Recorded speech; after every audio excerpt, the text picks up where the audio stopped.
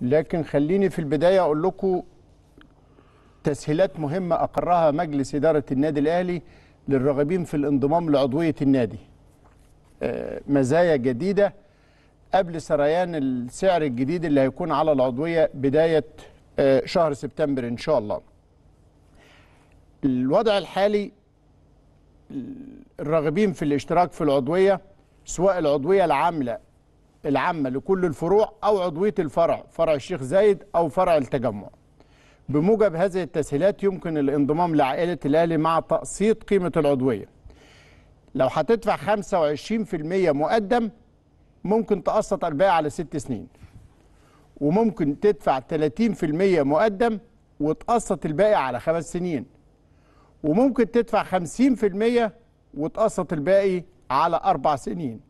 أنتوا عارفين إن العضوية دلوقتي فرع الأهلي في التجمع أو فرع الشيخ زايد الاتنين كل واحدة فيهم ب 285 ألف شاملة ضريبة العضوية ده للمؤهل العالي.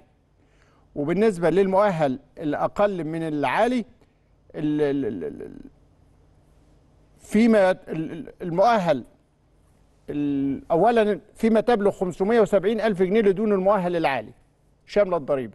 يعني المؤهل العالي 285 واللي دون ذلك 570 ألف جنيه. ده لعضوية فرع التجمع أو عضوية فرع الشيخ زايد. طب العضوية العاملة الكاملة بقى لكل الفروع دي للمؤهل العالي ب 855 ألف جنيه شاملة قيمة الضريبة المضافة. والدون المؤهل العالي بمليون 140 ألف جنيه.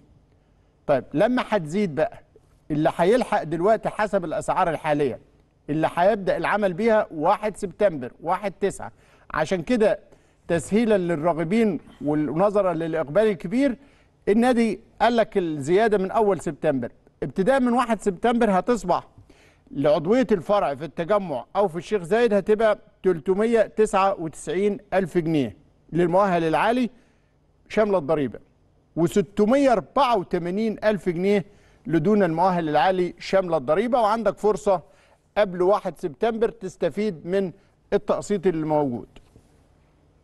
يعني الحقيقة آه، أنا ألمس هذا لأن دلوقتي أنت بتاخد العضويات في كل فروع النادي. لما آه. بروح الشيخ زايد بشوف ال- الاندفاع وحركة الإقبال على آه، الاشتراك في النادي الأهلي. والميزة اللي الناس بدأت بتحاول دلوقتي تفعلها إنك أنت لما بتعمل عضوية فرع بتحتفظ بحقك في تحويل عضوية الفرع إلى عضوية كل الفروع في أي وقت يعجبك بالسعر وقت التعاقد. يعني إذا زاد بعد كده بتدفع على سعر. لمدة خمس سنين. آه. يعني محتفظ بهذا الحق لمدة خمس سنين. لمدة خمس سنين. آه، آه، والاهلي مرشح إنه بيعمل يعني يكاد يكون تقريبا استقر على إنه يعمل فرع في العالمين. وده هيبقى حاجة جميلة جدا لأعضاء النادي الأهلي كمان اللي هم آه، لما يروحوا في الصيف ممكن يترددوا عليه.